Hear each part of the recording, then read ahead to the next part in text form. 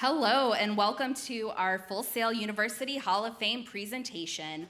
Just to make sure everyone is in the right place, this is our sports casting roundtable. Awesome, awesome. All right, so let's go ahead and get things started.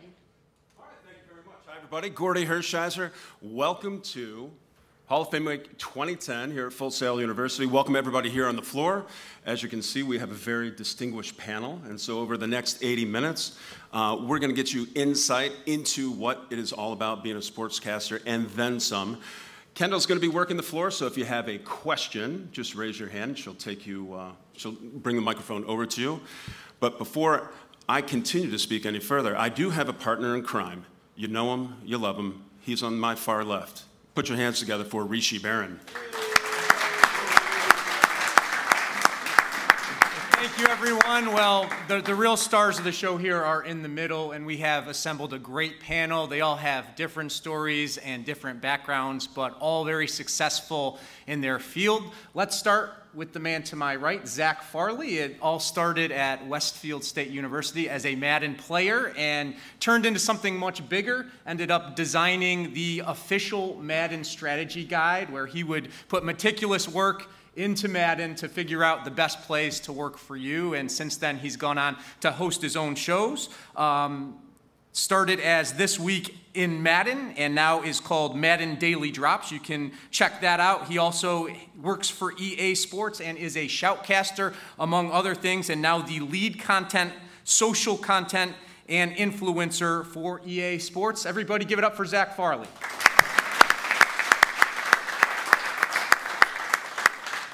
In the middle, the great Jamie Seh started her career in New York State, worked at a number of stations there in Watertown, New York, pretty cold up there, uh, then Syracuse, and then her hometown of Albany, where she was the sports director. And now she's been in Orlando for about eight years, works at News 6 as the sports director there, and also this year, the voice of the Orlando Apollos. Give it up for Jamie Seh. And to her right, Charles Davis, four year starter on the football field at the University of Tennessee, and his NFL dreams got a little cup of coffee there in training camp and then cut short by the great Tom Landry. But since then, a lot of success has worked everywhere from Stanford University to uh, the wor- wide world of sports complex, where, among other things, became the first African American tournament director for a PGA Tour event, the Disney Classic, and uh, plenty of other stops along the way. But now, great things that he's doing. He is part of the number two broadcast team on the NFL on Fox, also works for NFL Network, and also a commentator for Madden. Here is Charles Davis. So, all of you have a different story, a different road here, but there is one thing that has united all of you in one way, and it's a passion for what you do. And why don't we just go down the line here, starting with Zach? Zach, how were you able to turn passion into a job that you actually get paid for? Yeah, it's pretty interesting. Back in 2008, we started traveling up and down the East Coast to go to Madden tournaments. Me and a buddy, we packed five dudes in a Corolla, and we ventured on down to Philadelphia. I, of course, lost in the first round, and then had to drive all the way home. So I found out I wasn't that great at playing the game. I was very, very good, but not necessarily like a peak level performer at that moment. So what I learned about was the ability to kind of share information. If aliens attacked Earth and there was only one thing that I could do, I wouldn't necessarily be the best person at beating one alien one on one. But if they wanted to play a thousand games, I could be the best person to teach a thousand people how to get really good at the game fast to beat the aliens. So that's what the president would ask me to do if aliens attacked the Earth. so once I kind of figured out that was like the thing I could do better than anybody else, it was like, how do I get that message out to more people? From there, we started to use like a flip camera, which was this really cool camera back in the day that they don't make anymore, unfortunately. Um, kind of like an iPhone. Do you guys have those? Would have worked if we had had those, but um, recording that, getting that message out to people, starting with YouTube and in other ways to just connect and collaborate, and then use my background, create stories, and, and write all of that. So that's how I initially got started, and it just was a grind to keep going and going and going. And eventually, you get up here somehow, and you look back, and all the dots seem connected at the moment, but they don't when you're kind of doing it. So just keep on trucking and, and get that passion going forward. But that's kind of how it got uh, began. Yeah, yeah, for me, I was uh, kind of a square peg in a round hole growing up. I was, I was a sports geek. Um, none of my girlfriends were. Uh, it all started when I first saw Hulk Hogan coming in the ring. I'm not gonna lie.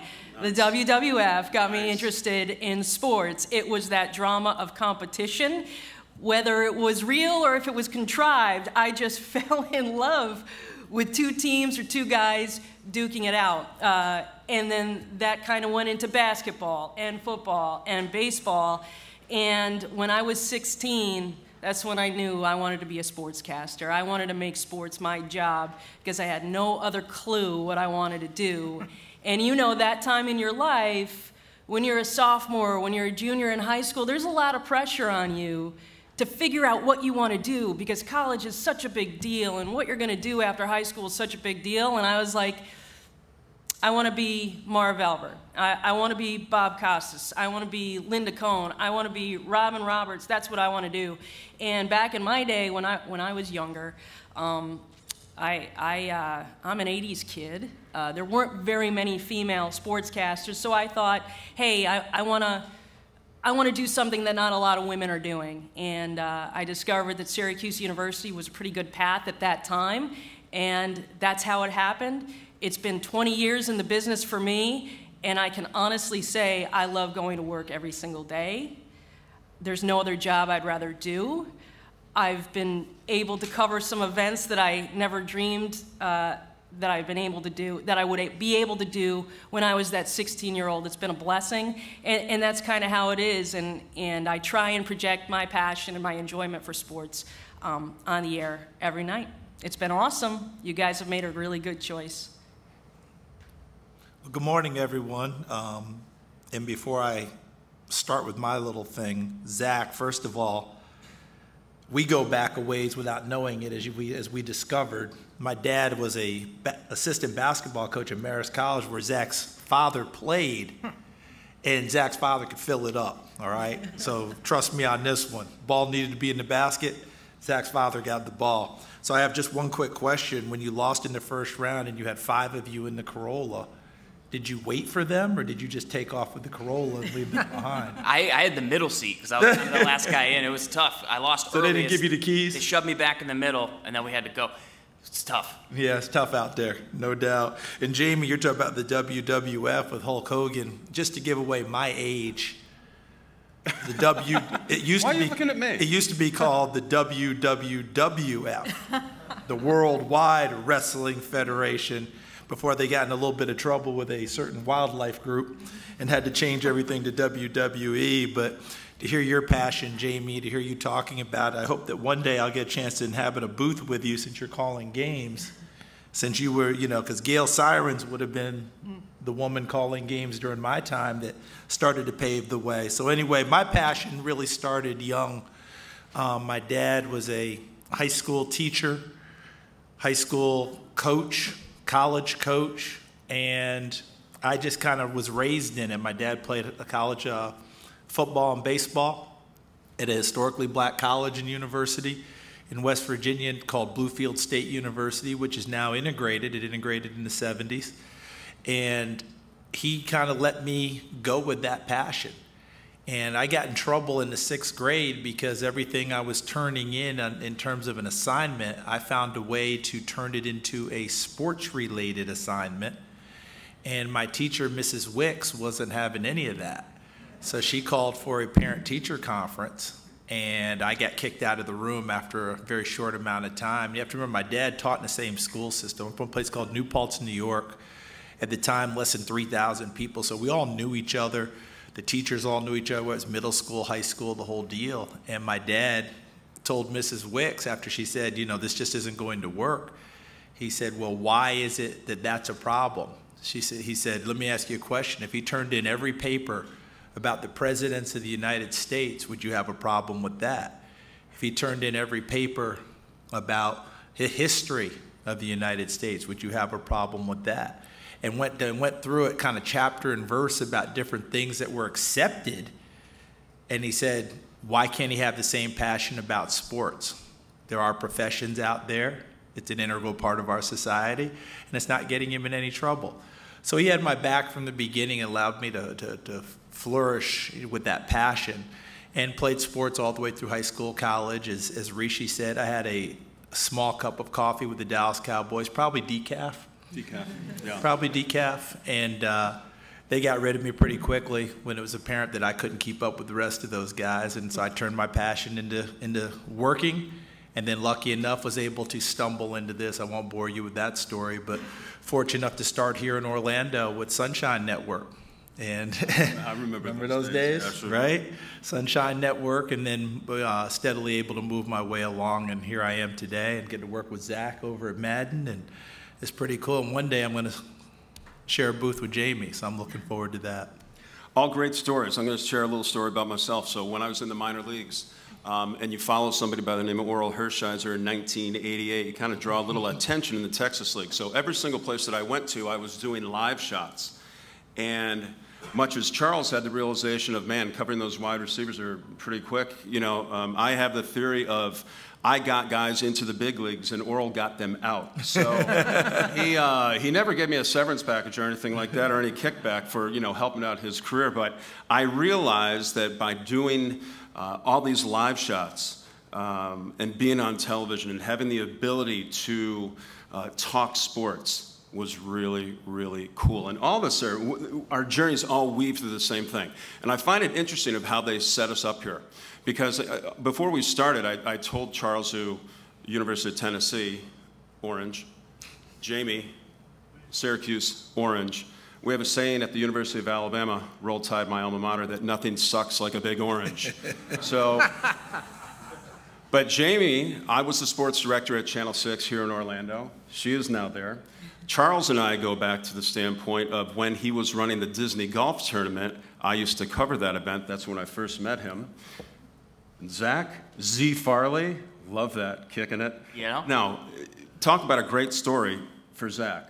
He started his show. Does anyone see Wayne's World Saturday Night Live? he is the epitome of Wayne's World. He and his partner started his show in his parents' basement. So if you want drive, you want determination, you want passion, you want to live that dream, see that dream, feel that dream, look at these three individuals right here. And that is the living proof of if you put your mind to it and don't accept no for an answer, you can make anything possible. And that's in your sights right now. So I want to know from you all your keys to success. Because we've all been through hard times and stuff like that. I'm sure Jamie has great stories about ice fishing north of the border. I'll kick it off with a couple things I see up here just in general. Uh, Rishi's preparation. I mean, people prepare.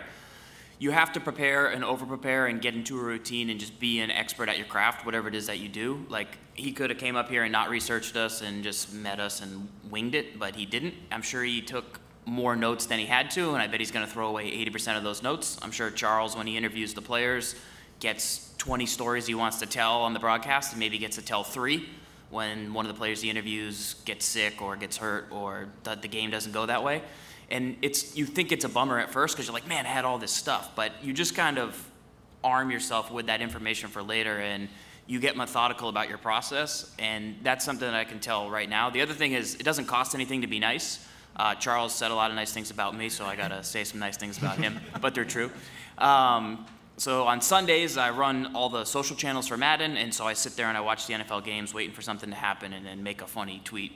Um, and so as i do that i hear charles on the broadcast all the time and then of course he's also in madden as well but I then go in on Monday mornings, 8 o'clock. Who's there?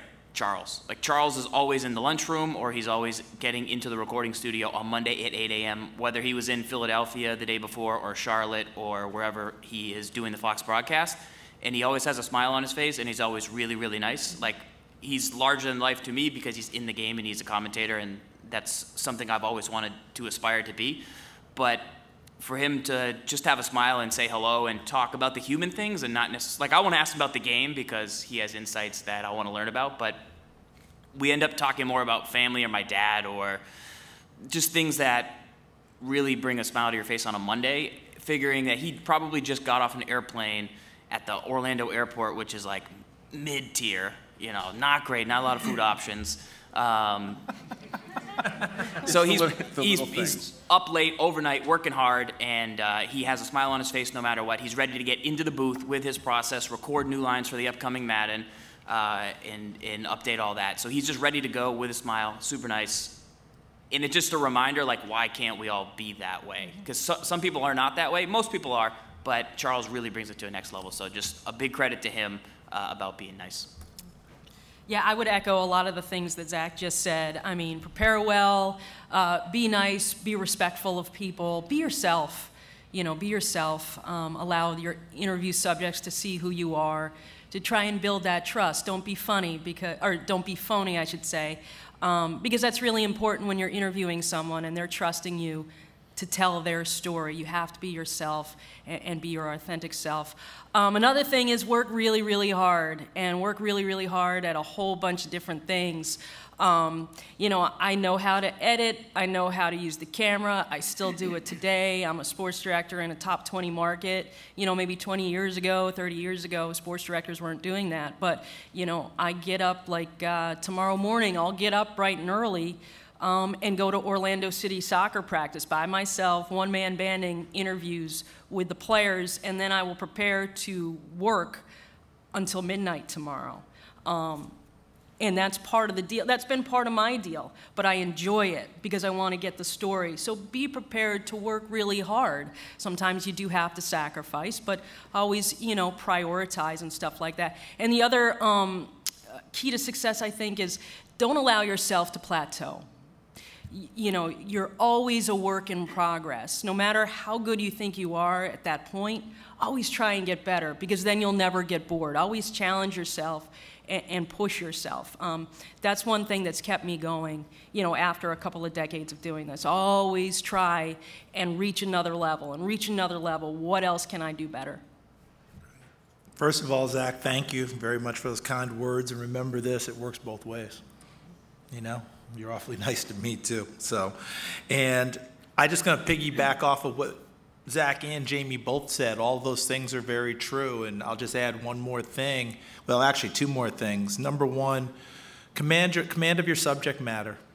I mean, that is just absolutely huge. It doesn't matter what you're going in there to do, what the job assignment is, you know, what, what, what people want to you, you do you to bring back know your subject matter, whether it's for a short interview, whether you're doing something for an entire season. Learn about it, learn what, what makes it tick. And what I've always told people, and it's not always possible in a short amount of time, but if you're covering something over time, you should know the roots of it, you should know the origins, you should know the players all the way through, how it was created, who brought it to fruition, and who's carrying the torch now. You know, I'll go back very briefly when I got an assignment to work for Turner Sports and we were covering the Pac 12 and the Big 12. I called the Big 12 office and the Pac 12 office and asked for their resident historian because just about every one of these groups has someone on staff, even if they're not named that. Oh, yeah, talk to Margie or talk to Bobby. They, they know it all.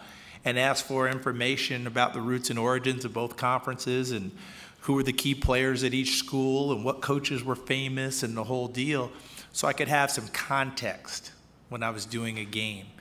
If some record was broken, if some coach had established a new new high water mark, you know, if some player had done something, how did that relate at that school to something that had happened in the past? Because what that does for you is it ties things together for your audience. Because remember, your audience is going to be diverse okay? And when we say diverse, I think everybody thinks of race. I'm talking about age, I'm talking about interests. I'm talking about these. Some people were back there. Well, you know, I remember when Norm Van Brocklin was running the single wing, you know, and how does that tie into what we're doing now? Well, it darn near looks like the single wing in football now, with guys taking snaps back in shotgun as opposed to under center. And the last thing I'll tell you is organization. Be organized. It is one of the biggest things going, and I I pride myself on trying to be an organized person. I just finished a book called The Education of a Coach by David Halberstam, and it's on Bill Belichick. And it was written after they won their third Super Bowl. So it was a little while ago, right? Anyway, in that book, it leapt off the page at me. I actually wrote it down. I'm going to laminate it and carry it with me. Bill Belichick said that he had learned after he had been in the league for a little while what he thought the biggest key to success was was being organized. So that you understood what you were trying to accomplish, what you needed to do to accomplish it, and how you needed to accomplish it in order to make yourself a better, and in his case, coach, I think it applies to all of us. So all the advice that they gave, those are just a couple extra things, a little lagniappe on top for you. So there. Charles, I appreciate you bringing up a book and an author that I reference in class all the time. So thank you for that. That's one. Of, so he's one. Of, he's one of the great. He's one of the great authors out there. I mean, if you have a chance in our profession and you read David Halberstam's collection, some of it will take for for most of you. You'll be like, God, what, what century was this written in? But trust me, read them some terrific reads in there. The Breaks of the Game that he wrote about the Portland Trailblazers in the 70s is one of the best books I've ever read in my life. I still reference it from time to time. But yeah, he's one of, he's one of my top authors. Jamie, what did you want to say? Yeah, I just, I just something else came to mind. Just a, another thing, I, I think it's important to show up. You know, go to the Magic practice, go to the Orlando City practice, go to UCF Knights practice um, to get the story, to be around these coaches so they get to know you and, and know who you are, but also for potential future employers because I know when I go to UCF, and I see their students who have the cameras and stuff like that, I know which ones work hard and which ones could be a potential fit for our station going forward. So it's really important to show up to things too. To factor that into like social media and all that and your profile and your portfolio of work that you have going forward. Like I can see a online resume in 10 seconds and tell you if they're a real person or like it's phony. And that goes back to the showing up to the organization, to the reliability. If somebody can be accountable, all those the process and like part of the process is showing up and doing it repeatedly until you get really good at it and screwing up so that you figure out where you fail and then getting a feedback loop so you can keep things going forward.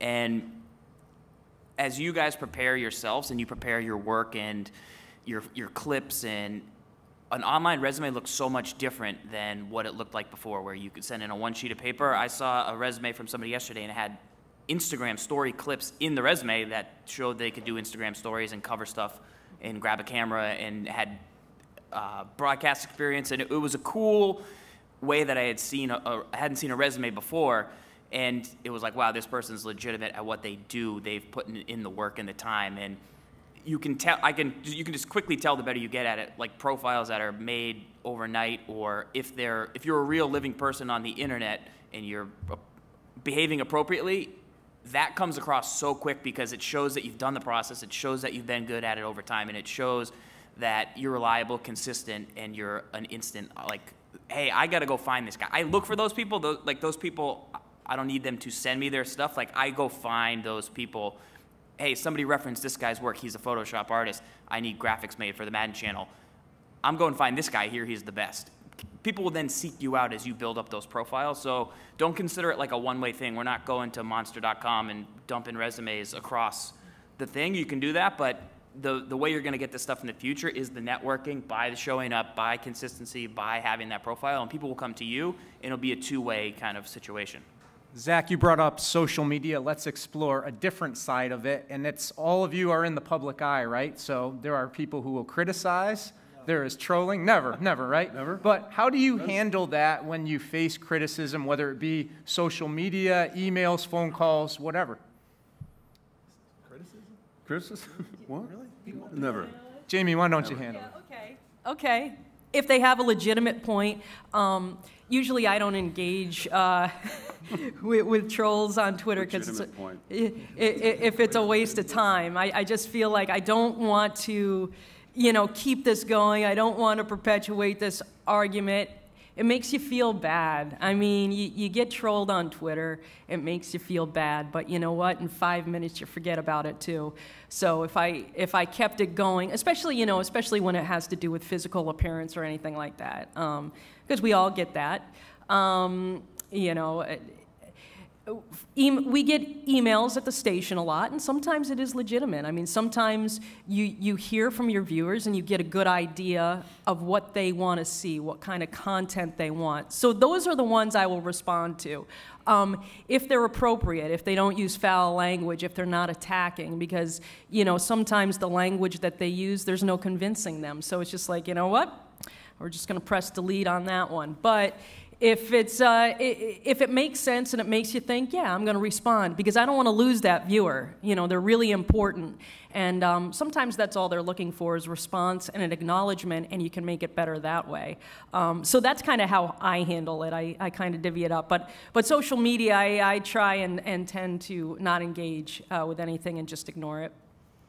I'm, I can take some things here. Kind of an expert at this one. Um, the gaming community, as you guys know, has at times been considered a little bit uh, toxic, maybe. Um, very passionate, though, in, in another way, right? So you have a vast spectrum of passion and feedback and excellent stuff that we can implement into our game. Uh, because I work across the social channels, we get it. We get feedback about the game, so we have to do certain things with that. We get feedback about the stuff that we send out and how we communicate, and then of course we get feedback on how we're doing. Z Farles looks like a potato. Z Farles looks like a trash bag. All things in the chat that my wife's like, what does that mean? I'm like, I don't know. You know, they're, they're not into to what we do, but um, the community there is so there's 98% of it is positive and i know that the, the, trolls make up a vocal minority at times and it feels like everything's coming at you and it's really really scary to be on the other end of some of those channels where if say you actually did make a mistake and then you have to go out and, and correct it, you might feel like, man, I brought this this storm on me, and I don't want to look at my phone, or I don't want to, you know, like accept that this is happening, and, and it's really really scary. Um, but it's okay at the end of the day. What we've learned over time is the more consistent dialogue you have with your players, and the more context you can give them as to decisions being made, and um, in, in the more you can communicate with them and have them un, like get an understanding of what you're working against and how you're you're speaking with them, you can create a healthy community, and people will give you the benefit of the doubt across the board. So. Um, the other thing you can do is you can also take a break from social media if you feel like it's something that you can't really handle or um, aren't you're not getting positive feedback from the community. So it's not all about positive feedback. Like we said, there are valid criticisms and concerns, and, and you can take that and absolutely make your show better, um, or make your content better, or make your performance better. And that's great stuff as well. But in general, if you're just not feeling like it's helping you, like don't be afraid to step away and look back. And one thing I take for granted, I guess, is like people will come up, not many, but they'll say like, "Hey, I love your show. I love it." And I go, oh, thanks, that's great. And I, and I mean it, but I don't internalize it in a way of like, if I saw Tom Brady, I'd be like, I love, I love what you do, you're great. And, you know, that is so many experiences for you, and you really, really mean it, and they just say thank you. But when someone's like, hey, this thing sucks, you're like, you take that, the negative comment so much more, and then you think about it. Whereas the 10 people that told you, hey, great job, you're like, thank you, thank you. But you don't think of like what it took for them to tell you that thing. So I would say, don't weigh it. Don't always weigh the negative more than the positive, but um, reach out to me if you have any stuff about this. I think it's super important. I think it's one of the most, as the future goes on and, and how the world is continuing to grow and how people are communicating online, like this is something that you do not want to let take, take you off track because you're not feeling um, the proper way. You can't get nervous about showing up, and that's part of that committing to the process and getting there every day. If people are giving you negative feedback and you're like, I don't think I can go back out there today, um, that's something you don't want. So seriously, contact me there and we can work through anything that, that might go like that. Great. This great stuff uh, that Zach and Jamie have given you, and I'm just going to try and dovetail with them a little bit. When you have people give you what you would consider a critique or negative feedback, however you want to categorize it, one thing you have to do is something that I learned as a as an athlete, and I'll guarantee you, Gordie heard it a number of times, and I'll clean it up because our coaches, they, our, their language might have been a little saltier, but it's encapsulated in this: when they tell you that you're an idiot, don't listen to them. When they tell you why you're an idiot, evaluate that. and see if there's something there. And I think Jamie and Zach were talking about that, that sometimes there is some critiques that come through. There are some critiques that come through that have some validity that you need to examine and check. We all do, okay?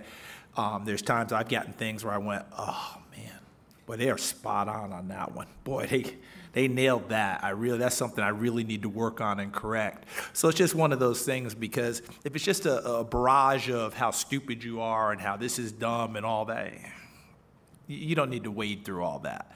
But they're pretty specific. This is what you didn't do, or this is what didn't happen. Then evaluate and see if there's some, some validity there.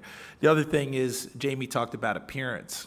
And I would say 98% of the time, appearance, unfortunately, is directed most strongly and vehemently towards women. Men kind of get away with stuff and it's not right.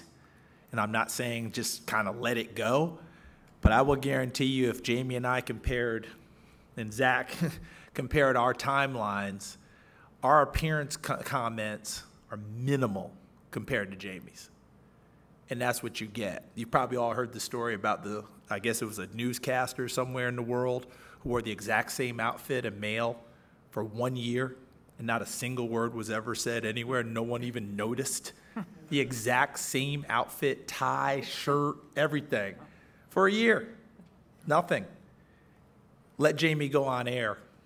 Guaranteed I can look at her timeline. I hate your shirt. I hate your hair. I hate your this. I hate your that. That's what women have to go through in a bigger way than men do. So just, just one of those things to keep in mind. The evolution of social media for me has been, Zach talked about it a little bit. I just used to recoil, like, oh my God oh my God, and just go into a dark room. I'm a Scorpio. And if you read Scorpio's horoscopes, we do not like to be criticized. so having to work through that and deal with that and try and work on it. So when I call a game now, I evolved to this a few years ago, probably about five or six years ago, where after I call a game, I don't check social media. Like if I call a game on Sunday, I don't even check social media until Tuesday, Wednesday, usually Wednesday, because I got to let stuff clear through.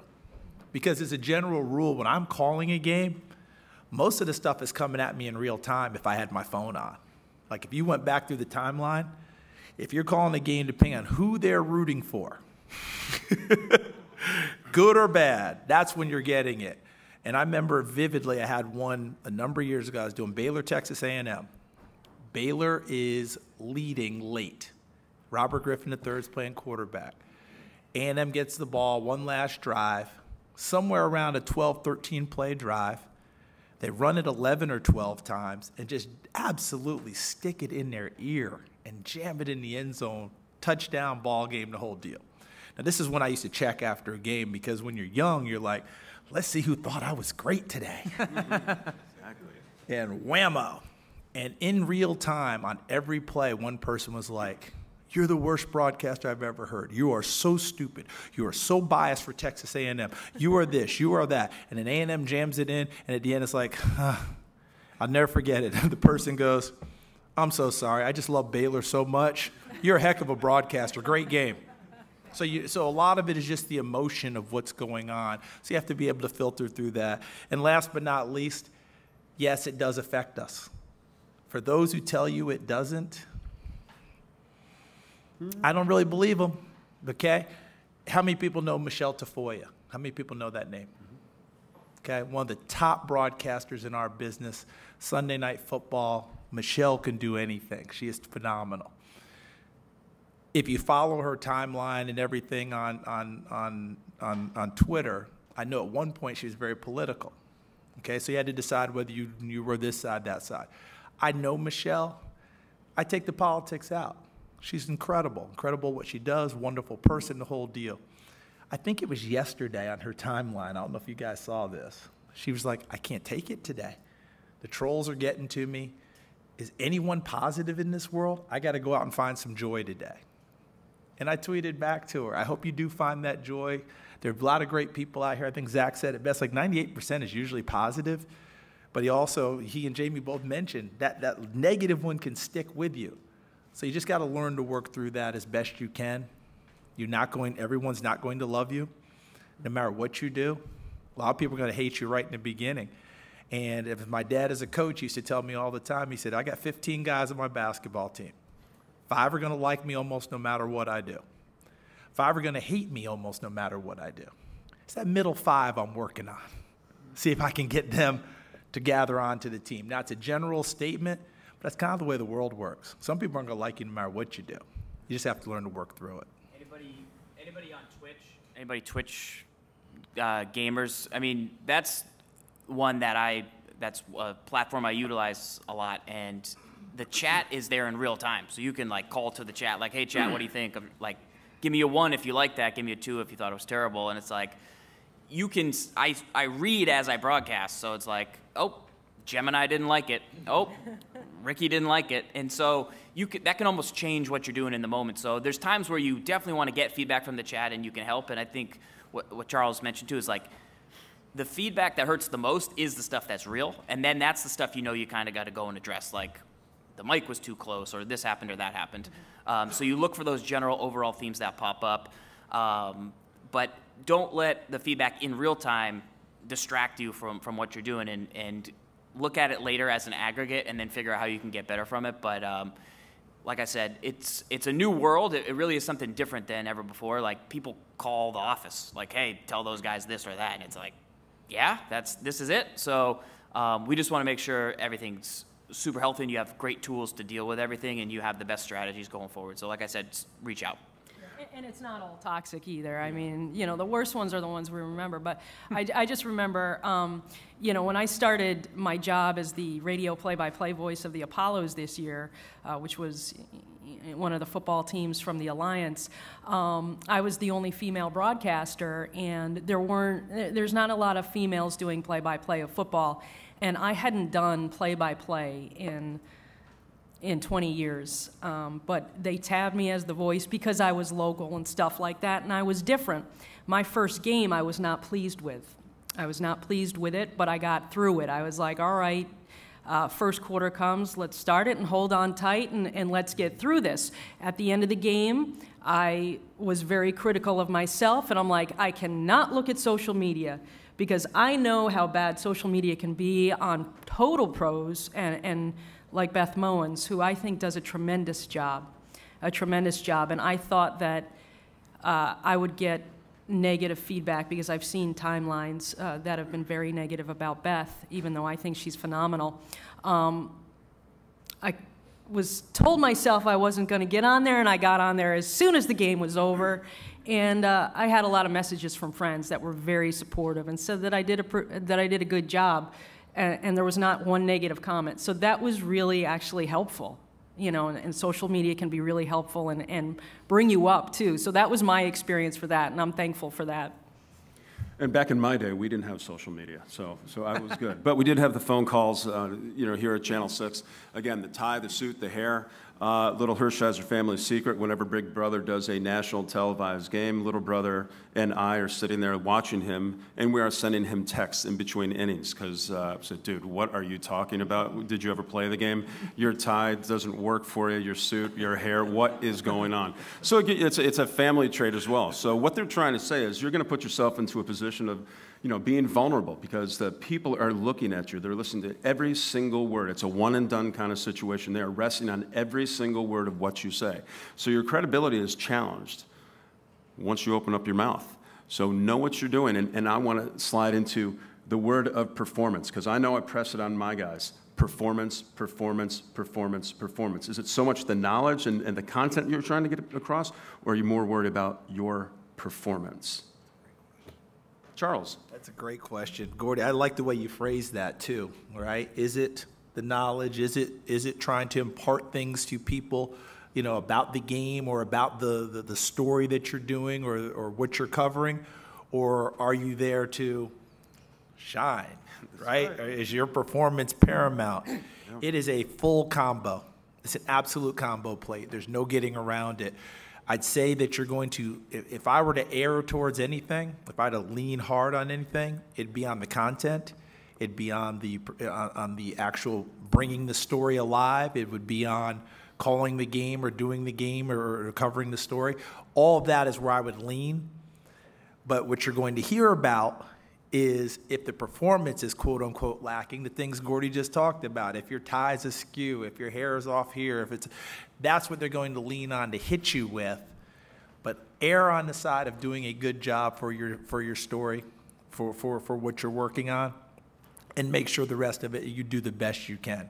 Because as I've said before, you can be perfectly coiffed, your makeup can be absolutely in spot, everything is right, and someone will see that little fleck of dust right on Davis's right shoulder. How could you miss that, Davis? What is wrong with you?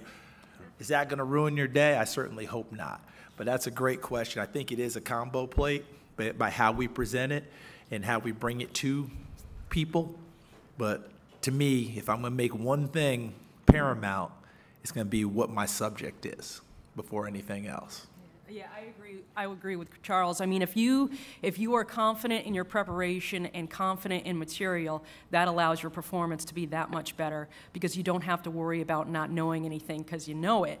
So that you, know that's not swimming in your head, and then you worry about your performance, and your performance is only uh, going to build and get better with repetition just like an athlete you know if if you're not happy with your first couple of tries keep working at it but it's going to get better with reps. It always does. I always feel like I get better with reps too. Um, but yeah, I think your preparation puts you in good position um, to have a, a, good performance. Also, look back on your old performances and evaluate and self critique because um, that helps a lot.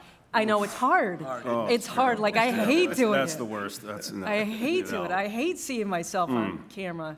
I do. But anyway, but you have to go back and do it, and then uh, and then you'll pick out you know the outfits that look good on you. Um, there are dresses that I trash immediately after I see them. I'm like, oh, that didn't work. But anyway, but really, content preparation is the key, I think.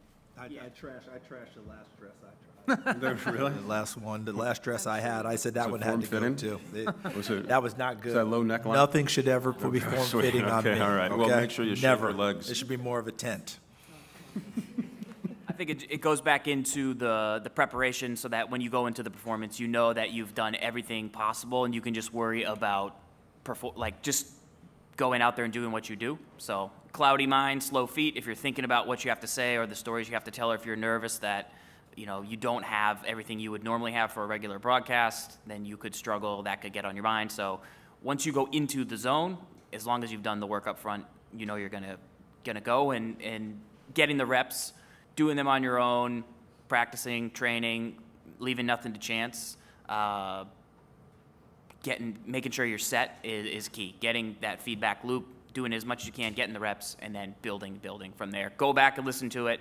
Um, difficult to do. I cannot stand my own voice. Have to go back, see how things played off, see how the viewer would have seen the story you told, or the pause that you made, or like you have to go back, look at that, and say, okay, next time I'm going to try this, or I'd rather have. I wish I would have done it this way, or ooh, I really like. And what's great, Twitch and the chat is, oh, they really like this thing. So not while I was watching it, but when I went back and looked at it, they really appreciated this context I gave to this thing. So getting that type of feedback is great in real time because then you can go back and say, do more of this, do a little less of that. So that helps. I'm sorry, go ahead, Jamie. Uh, uh, another thing, uh, you know, if you love doing what you do, don't be afraid to show it because it, it can be contagious. Your audience knows it. I remember watching Rishi uh, in Tampa, and here was this guy with great energy, a smile on his face, and I knew he loved his job. Accurate. Speaking of jobs, oh, Charles, you had one. Yeah, yeah, real quick. I want to bring it back to how Gordie framed this thing.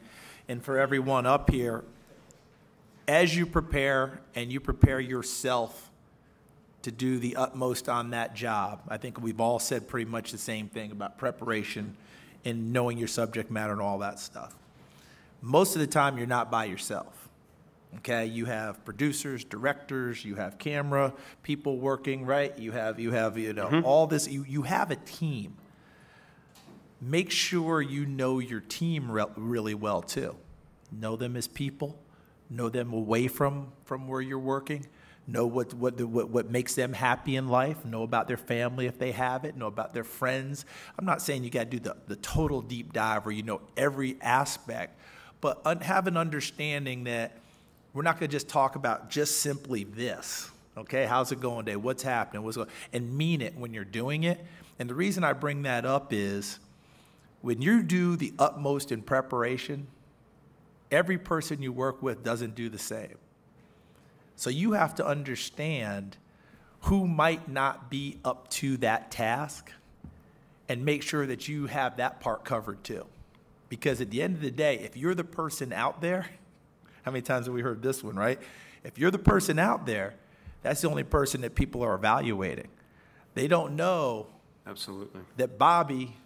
Didn't get that, didn't get his job done that day, and you're trying to compensate for it. So you can find a way to compensate for Bobby so that you're not left hanging. Does that make sense in what I'm saying? We understand. We understand more how TV works and how cameras work and how shows operate and how producers produce and the content of the show. But not everybody has a clue at all. They think that Charles decided to use broadcast view during the touchdown, which missed the corner of the left side. They're mad at him for not changing the camera. So obviously that's not valid feedback, but that is ultimately what happens. So no matter what, you have to hold yourself to a super high standard and make sure that you are delivering up to that standard. Not everybody may go to that level of preparation that you do. They might may not make 100 flashcards for their specific thing, but if you can be sure when you're on a team and when you're on a broadcast team, if you're up to that standard and, and you consistently show that level of excellence, people will rise to that level. People will do what they can get away with. They won't always do what they know they should do. And so, if, at least if they see you do those things and you hold them to that accountability level, they'll help you deliver an ultimate show that you can be proud of and that they can then be proud of. And it goes back to what Charles said about eh, once you get off the set, thank everybody. Let them know that all the work they did made what you shine look possible, right? It's a team, it's a team game, and not a lot of people understand that, right? And if you're within the Dan Patrick School of Sportscasting, uh, I I promise you this, we did not provide any answers to Jamie or Zach or Charles. Um, And if you really listen to what they're talking about, they're conveying the same messages that we are within the school. Your voice, you have to develop your voice. You have to do your preparation. You have to have your relationships. You have to be sincere. You have to be forward. You have to be pushed in and all in. You decided to come here, so do it. These three individuals, they did not achieve where they're at. No one just said, hey, we're going to give you that position. Okay? They worked exceptionally hard because it's a competitive world out there. So you have to set your sights on your goals and focus and do not take no for an answer. These three individuals right here are a testament to that drive right there. Speaking of goals, I have a question for the audience. How many of you are worried about finding your first job? All right. A lot of hands. They're on. So let's get in. Let's get into jobs right now. So why don't we start with Jamie because you've had the most traditional path of the three here. Uh, how do you get the first job, which I think in a lot of ways is the toughest? Okay, so my deal was this. I graduated from school in 1998. It was a long time ago. Um, my professors there told me and told the rest of us in our, our class that you will not get your first broadcasting job in the first six months after graduation. We all go into panic mode, or we think, well, that's not going to happen to us. Well, I had a freelance gig doing some play by play that paid me $125 a game out of school. And I would get, well, since it was summer, there were no games to do because there were collegiate games. Get some microwave So, burritos and- so my Yeah, very 7-Eleven, first, right? yeah, my very first professional job out of college was at J.C. Penney's, and uh, yeah, I was a little depressed. Um, but I would send out my resume, you know, send out my tape. We had tape back then. But the way I got my first job, this was in Watertown, New York. It's Market 175. It's up near the Canadian border. Lovely anytime. Yes. It with three foot snowbanks. Nice. But basically, eh, you never know how you're going to get the first job. This is how I got my first job. God's honest truth. My boyfriend at the time, he and I had been dating at Syracuse. He got a job right away out of school as a news reporter at this station in Watertown. Since I didn't have a full time job, Watertown was an hour from Syracuse. I just moved up there and started, you know, toiling my craft at J.C. Penney. And because I was up there, a news position opened up. And now I wanted to do sports, no question about it. But a news position opened up about five months after I was uh, there because I was in the market, because I had a background, and because my boyfriend recommended me, I got that news reporter position. It was hard. It was the hardest job I've ever had, being a news reporter. It wasn't something I was passionate about, but I needed to get my foot in the door some way, and I did. And then 10 months later, a sports job opened up at that very station. And, I, and they slid me over there. So that's how I got my first job. It was hard, but you just keep at it. And it, it's going to be different for everybody. It's going to be different for everybody. I mean, there were people that I knew that did get jobs right out of school. There were people that I knew that had jobs while they were in school, like Jeff Glor. Um, I, I, don't know if you guys know who Jeff Glor was. He was just the anchor of the CBS Evening News. Um, he started working in television as a junior in college um, and was hooked up with this sweet anchoring job in Syracuse once he was graduating, making $60,000 a year, which was a lot of money back then. And that's how he got on his path. So it's different for everybody. The one thing that Jeff did unbelievably smart guy, unbelievably hardworking, super dedicated, but he got his foot in the door because he went and knocked on doors when he was in school. And, and that's kind of what you have to do. And, and we've had interns um, who have performed so well at our station, we've given them jobs here in Orlando. So you just have to take advantage of your opportunities. Maybe take a job at J.C. Penney. they weren't hiring at Filene's basement that day, so she went to J.C. Penney instead. Sorry, old school joke. Um, for me, I've had a lot of jobs. Uh, right out of college, I worked at an engineering firm in Boston, and I did not know a single thing about engineering, so I was probably not a great employee. Uh, it was an eight to five, like very traditional. Like if I worked till 5:03, I was like, wow, really putting the hours today. Uh, and it was traditional. And the reason I'm wearing shorts today is because that job I had to wear pants and a polo every single day, and I said, hey, I hate wearing pants. If I ever get a job where they let me wear shorts, that's a life goal, and I will take advantage of that. So I wear shorts pretty much every day. So it's the little things that really matter. Um, from there, as I was working the eight to five, I'm like, this is not it. It's it's good. It's paying the bills, but this isn't it. So what I did was I actually started working at a sportscaster studio for kids that was local to the area. And same thing, knocking on doors. I walked into a basement and was like, hey, I have this piece of paper from this college that's a comms degree. Can I work here? And they said, yeah. So uh, worked there for free for about a year, developing a, a one hour show every weeknight with kids, teaching them how to become sportscasters. And that allowed me to use the space to make my show better. So I moved it out of the parents' basement into this other guy's basement and uh, started making the show there. Better technology, a little better lighting, a little better equipment, met people, met uh, networking. That's when EA then saw the show after two to three years into it and then offered us the guide. So there was a lot of extra work that went into it. And what I'll say is like everything that I've done so far and all the jobs I've had, they, they feel like they've ended not in the ultimate thing that I'm going to like do and, and become. Like I would consider everything I've done up to this point almost to be a failure. Um, I would consider the weekly show to be a failure. I would consider um, me becoming a successful individual on my own. Like I was running my own business, doing the books and doing that. I ended up uh, moving to Orlando to work at EA by taking chances, taking opportunities that I believe to be possibilities. I moved to Florida six months uh, before I actually started to work at EA. No job. There was, yeah, you could probably work here. We've worked with you. We, we, we know you're good, but I didn't move for an actual job. Um, I moved for a contractor position, not a full time position.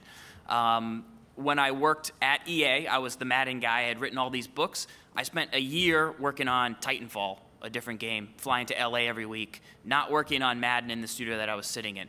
But I said, hey, what does the team need? What can I do? How can I help? How can I get in the door?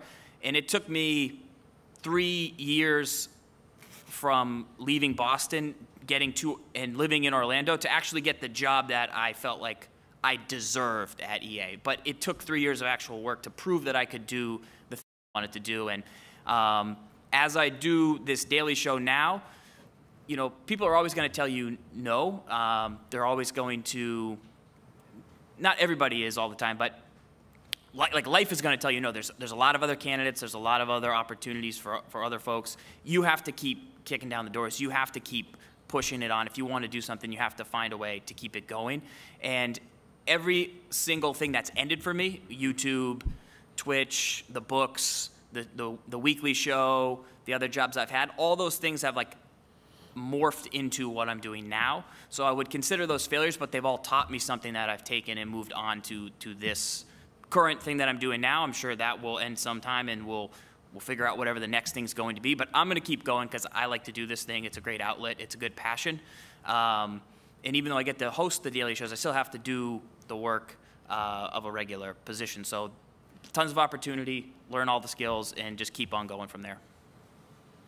Getting a pretty good message, aren't you? You hearing that from, from, from them? Very quickly, belief in self, belief in your talents. That will allow you to continue to knock on doors.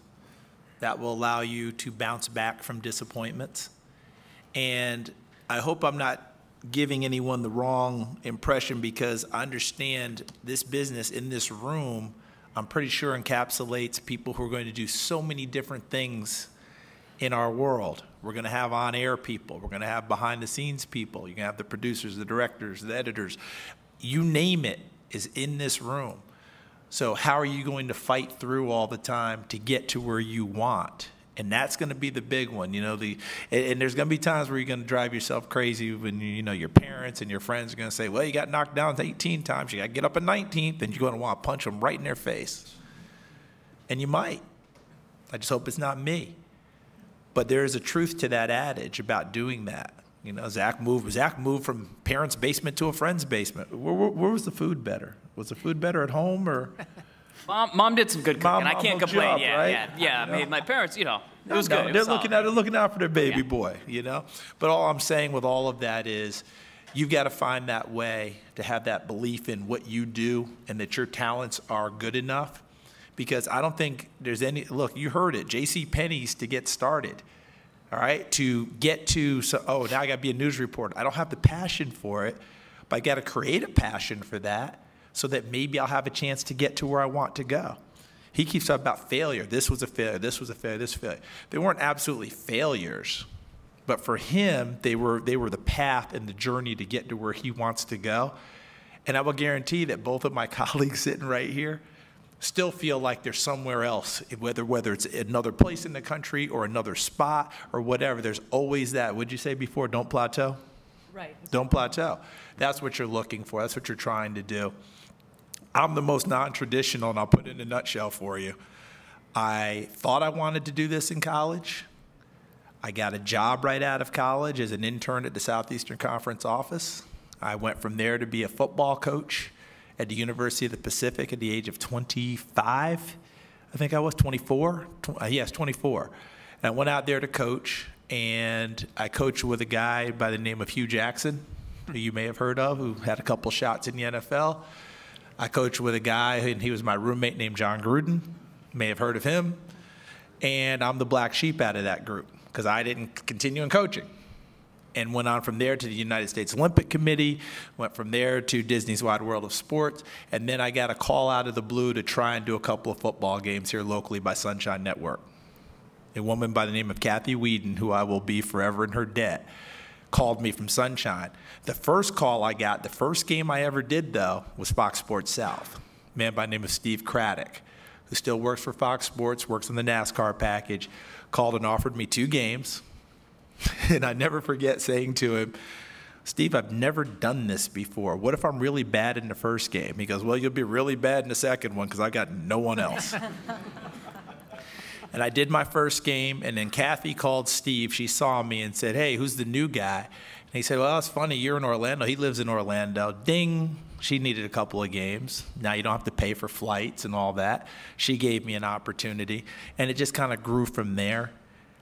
But if you think that the path has just been,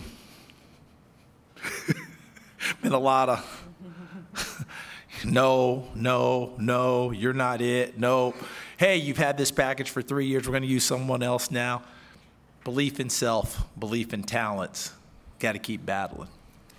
Parents' basement, J.C. Penney, uh, getting your first opportunity and just uh, cutting your teeth and making your mistakes. Uh, I remember when I graduated University of Alabama, uh, firing out those tapes, getting denied, denied, denied. I think there was a service back then called Media Line. Mark Shillstone was the guy. Um, became a very good friend. I, I, have no idea how many tapes that I sent out, but I was doing a T-shirt business in, Tuscal- in Tuscaloosa until finally I, I, got my opportunity in St. Joe, Missouri. Whew, the Mecca. yeah, yeah, north of uh, an hour north of Kansas City. Uh, had four states to learn, had Iowa, Nebraska, Kansas, and Missouri to learn. So now you're getting into those multiple states. But I look back, and some of my greatest times were in those lower markets. Oh, yeah. Because I know all of you, you want to go to the Mecca up in Bristol. You're going to go big desk. You're going to have people powder your nose and do your hair and stuff like that right when you graduate. Mm. I hope it happens. Yeah. Um, but you're going to have to go somewhere where um, you're going to have to be a, a one-man operation. And I think it's those lessons that, uh, not only in the success of television, but those lessons of life, of having to really appreciate what I have to do to get where I want to be. Think about, think about the people as well. The, the people Charles mentioned, he remembers them by name. I remember the people who helped me by name. I know Gus keeps giving me opportunities, uh, and I want to deliver on those opportunities. Justin Duell, a guy, gave me that first call at EA. He was the connection. He was the tissue that that brought us down. And the relationships you have, those are the people you prepare for. Those are the people you don't want to let down. And um, as we talked about interns and, and hiring them, you as a leader, take an interest in those people who show up and can do consistent things and are willing to go to those crazy places and are willing to hold the camera and talk and edit and do this and that. And once you as a leader find those people, you want to give them that opportunity. You want to be that person that Charles mentioned gave him an opportunity.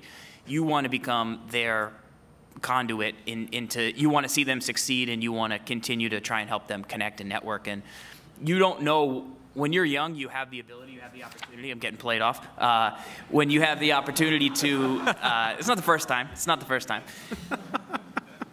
like to thank. No. Uh, you never know what's going to, to come. So take as many chances as you can. You never know which one's going to be the lottery ticket. Do that, and then you'll see where the connections go. And don't let the people down who, who take that chance on you.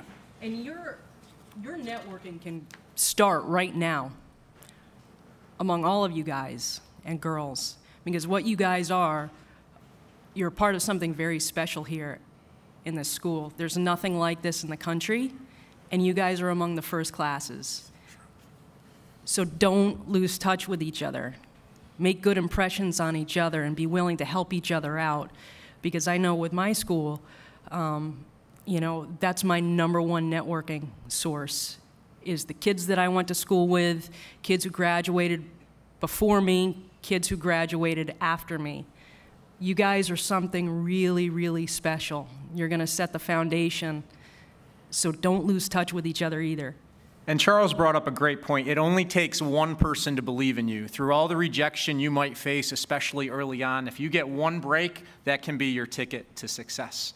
I think we have time for uh, some questions. Um, about 10 minutes for questions, so we'll get in as many as we can. Uh, raise your hand, and Richard Tiemann would like to ask the first one. Richard?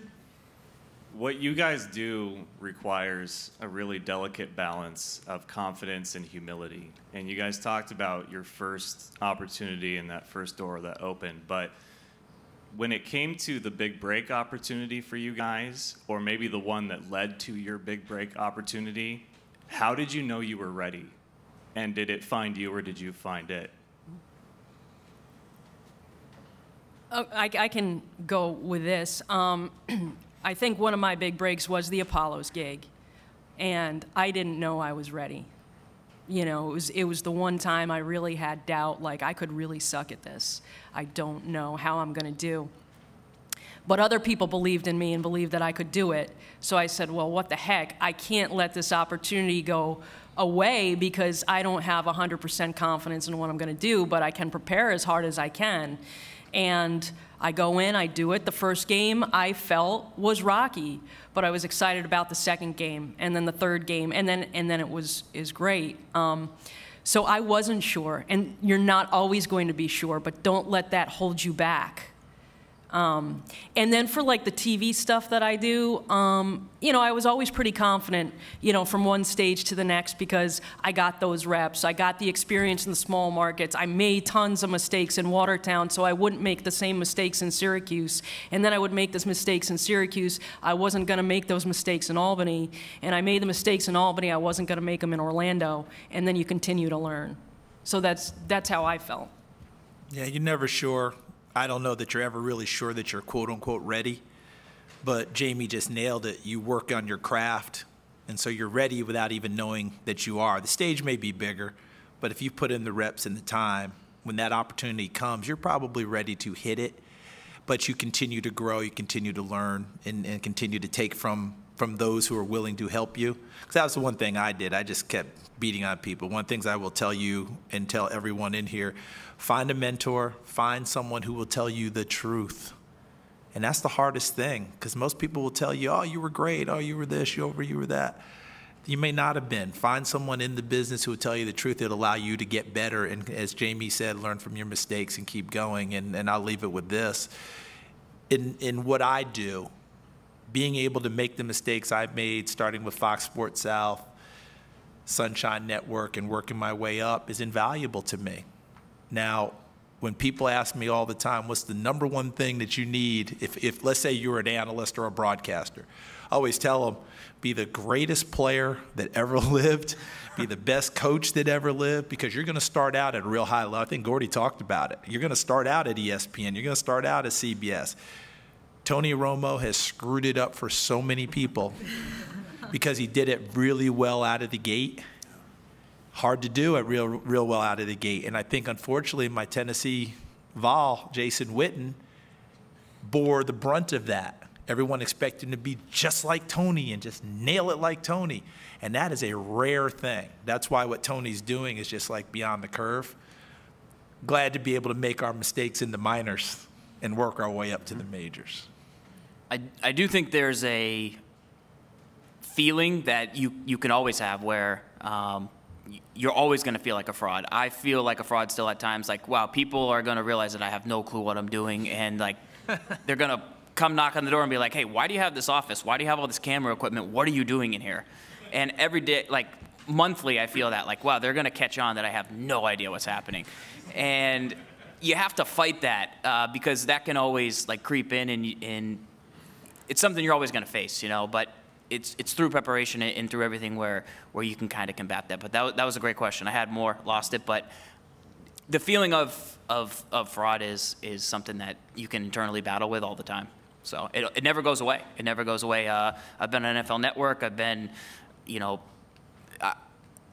I've watched I watched Trey Wingo, Michelle Beadle do an awesome job presenting the Madden Bowl, and I sat there with my buddy Steven. I'm like, I could do that, right? That's that's another big thing of like the, the haters. Like I could do that. I could do that. No, Charles calls NFL games. I could do that. It's not that hard. I could do that. Mm. And then like two years later, they're like, hey, you guys are gonna cast the games up on the Madden Bowl stage, and we're like. oh, oh. So it was the biggest moment, but it was also like we've talked a lot of trash. We've said a lot, we said some things, and now we've got to go back it up. And, and then we ended up doing well, and that was the break. But when we were sitting up there, we're like, they're going to realize we're not professionals at some point. But we, we then were. So I don't know. Yeah, you never know who you're going to meet in this industry. Uh, so when in, when opportunities are provided for you here at Full Sail through the Dan Patrick School of Sportscasting, take advantage of them. Get involved because the first impression is your last impression. Okay, you can go along, you can be the greatest person in the world, you really could, but you might have one slip up and then all of a sudden a wrench is thrown into, oh, what's the personality, character of this individual? But I want to soften it up real quick as my brother's calling me, and I'm not going to take the phone call. Anyway, what's the craziest moments you have ever uh, experienced in te television? Okay. Go ahead, go ahead, Jamie. Okay, so uh, there have been several, um, but just the one that'll always stick out for me is the Stan Van Gundy, Dwight Howard impromptu press conference. I was right there. It was awesome. It was awesome. So, you know, we're holding court. The Magic were playing the Knicks. It was April 5th, uh, 2012. Dwight had. Um, recommitted, opted back into his contract with the Orlando Magic. But then there were stories that he wanted to have Stan Van Gundy, the head coach, fired. And Stan is as straight of a shooter as you are going to get, and he is great. So eh, we're at shoot around prior to the Knicks game, and everybody surrounding Stan Van Gundy for his media availability. He's asked point blank, Do you think Dwight wants to have you fired? Yeah, I know he does. And then I see, so I'm in this huddle, but I see Dwight down the hall. and I'm like, oh my gosh, what should I do? Should I go and get Dwight's comment? Because this is, this is unbelievable. And I'm like, oh my God, what's he doing? He's walking towards us. Here comes Dwight. Oh my God. And then he comes in, breaks the huddle, and puts his arm around Stan Van Gundy, and it's just boom, has no idea that Stan just put it out there. And it was the most awkwardly Oops. awesome thing I've ever seen. And that's why, if you get a chance to cover the NBA, do it because it's great. so that, that's probably the wildest thing. All right, well, we have to wrap things up here. Wish we could get some more questions, but that's all the time that we have. Uh, we're going to have to clear the room, but if you'd like to speak to anyone in our panel, if they have the time to, it's up to them. Uh, I'm sure they'd be happy to uh, get to meet all of you. So thank you guys for joining us. Uh, thank our panel once again.